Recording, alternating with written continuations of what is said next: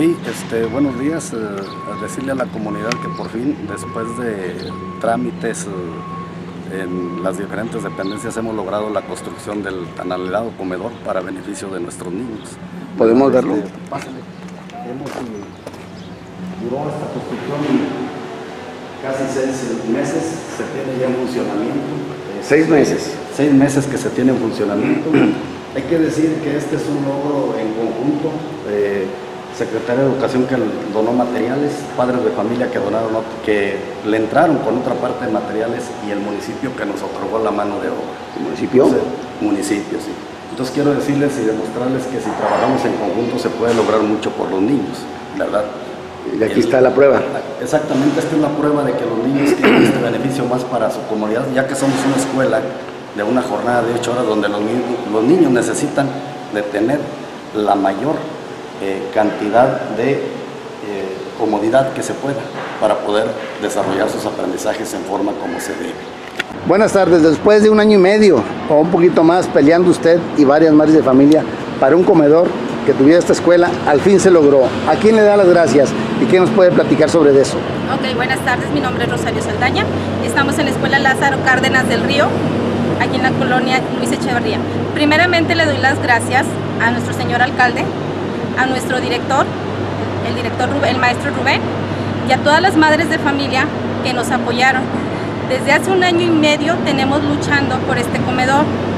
Y usted se debe acordar bien, ¿por qué? Porque a usted le dimos la entrevista y usted nos apoyó. ¿Quién? La señora Gloria, la señora Elisa Torres, la señora Denise y la señora Plácida y yo. Estuvimos luchando y con las demás madres que quisieron acompañarnos, obvio. Yo les doy las gracias porque finalmente nuestros hijos van a comer dignamente, como debe de ser, y no como antes comían, como a usted le consta en los reportajes que hizo. Cómo comían en las aulas o en el piso los niños. Ahorita ya, ya gracias a Dios también cumplieron en los abanicos que nos prometieron. Bueno, esa es otra historia. ¿Por qué se atrevió a pedírselo al alcalde en ese momento que estaban ahí en el evento? Primeramente me atreví y le di las gracias por el apoyo que nos dio con la construcción del comedor y después porque aquí nos toca ver a los niños con el inmenso calor cómo se la pasan, el alimento, cómo se están alimentando con ese calor y las señoras también que nos ayudan a hacer limpieza. Es insoportable el calor que hace aquí. Era insoportable. ¿Qué le dijo el ingeniero Roy? La respuesta fue excelente. Inmediatamente dijo, al siguiente día ustedes pasen por ellos. Y ahorita, el día de hoy, ya están instalados. Nos mandó también para que los instalaran y ya quedaron los, los abanicos. Quedaron en comedor y en el área de cocina. Muchas gracias a las autoridades que nos han apoyado.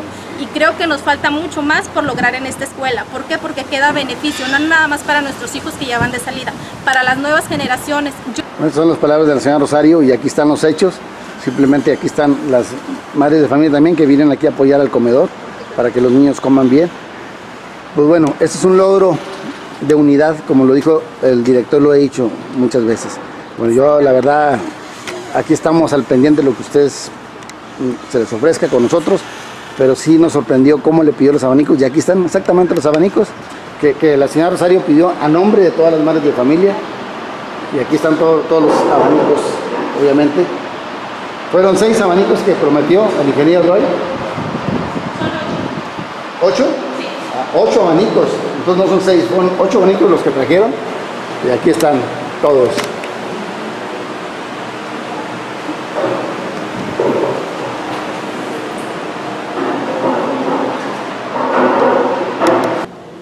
है। रोसी भरना है